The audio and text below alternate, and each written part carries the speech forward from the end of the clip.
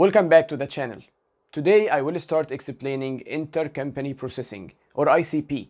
And I know how important this is because most of my clients have issues and questions related to ICP. And I believe this is mostly because ICP can include many processes that are complicated and also because ICP can be completely different between one company and the other. So today I will start by explaining the intercompany sales process to external customers. I will start by explaining the meaning of ICP or intercompany processing. Then I will explain the different steps in this process and then we will look into the financial entries in every step. So keep watching after the intro.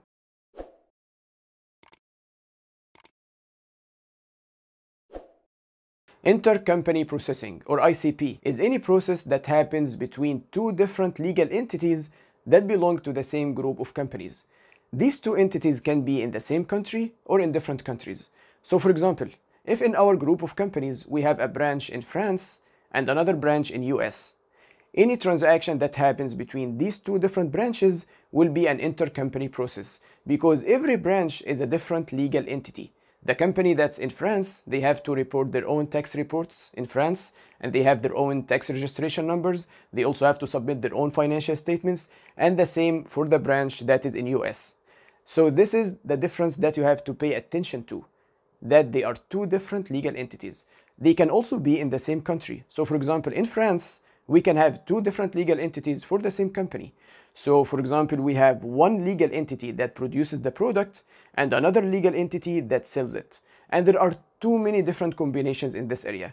So the only thing you need to pay attention to is they are two different legal entities. As long as we have two different legal entities, whether they are in the same country or in different countries, then this is an intercompany process. And these two different legal entities can also be called sister companies or affiliate companies. So when we say a sister or an affiliate company, it means that these are two different legal entities that belong to the same group. Now we know the meaning of ICP, but what is the meaning of a third party or an external customer? This is any entity that doesn't belong to our group of companies. And now I will start explaining the intercompany sales process to external customers. Let's go back to our example. We have two sister companies, one in US and another in France. And we have a customer, an external customer in France, who would like to buy one of our products. But the product only exists in US. So now the company in France is going to create a sales order to sell this product to our customer in France, but is going to ship this product from our company in US. So here is an intercompany process. This process actually includes two processes. It includes in the background one sales process that will happen between our company that's in US and the other that's in France. So the one in US is going to sell the product to France in the background and then we have the other process that we have in the foreground, which is the sales process from France to the external customer. Now let's look into the steps of this process. Before we start, you are already familiar with the standard processing of order to cash or sales order processing, which I already explained in another video before. So if you haven't seen this video yet, I will leave you a link here and I completely recommend that you watch this one before you continue watching the intercompany process.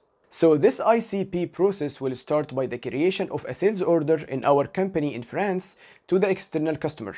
And this sales order will include the different details. Who is the customer we are selling to? What is the product we are selling? The different agreements like the payment term and the shipping term and so on that are included in the sales process. Then based on this sales order, we are going to create an outbound delivery in our company in US. And based on the outbound delivery, we are going to create a goods issue also in US. And then we move to billing.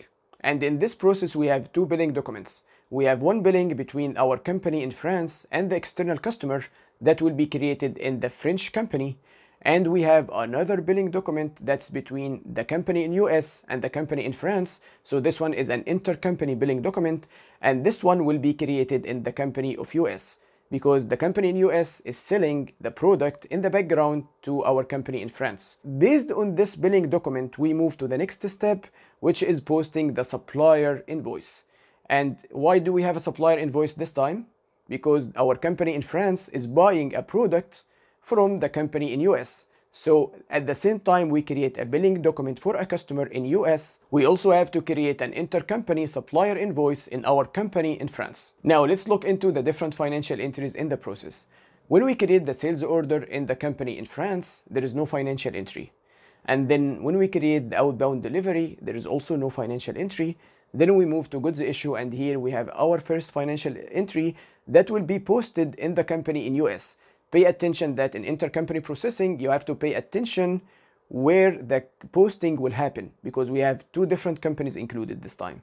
So the goods issue posting will happen in our company in US, the company that is issuing the product. And this financial entry will be a debit to cost of goods sold and a credit to the product inventory. And then we move to the billing documents. So for the first billing document for the external customer that will be posted in France, it will be a debit to the customer accounts receivable account and a credit to the sales revenue in France. And for the intercompany billing document that's posted in US, the financial entry will also be a debit to accounts receivable and a credit to the sales revenue.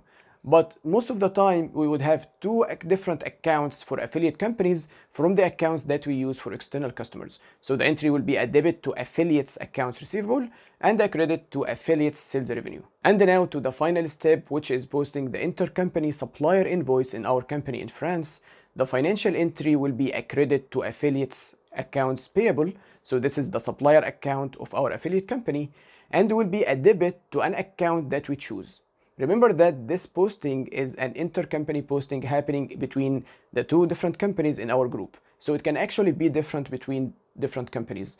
But normally it will be something related to cost of goods sold. So it would be, for example, affiliates cost of goods sold. Now, if we look into all of these financial entries, we can see that for every affiliate company we have in the process, we have a full set of entries that are related to the sales order. So for our company that's in US, we have the cost of goods sold that's posted when we did the goods issue.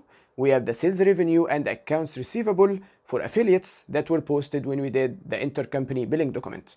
And for our company in France, we have the cost of goods sold that was posted when we did the supplier invoice for intercompany. And we also have the accounts receivable and the sales revenue for external customers that was posted when we did the external party billing document. In the next video, I'm going to demonstrate this whole process on SAP S4HANA 2020. And the video will be released next week but I'm giving early access to the channel members. So if you are a channel member and you would like to check this video today, you can click on this link. Thank you for watching and I'll see you again soon.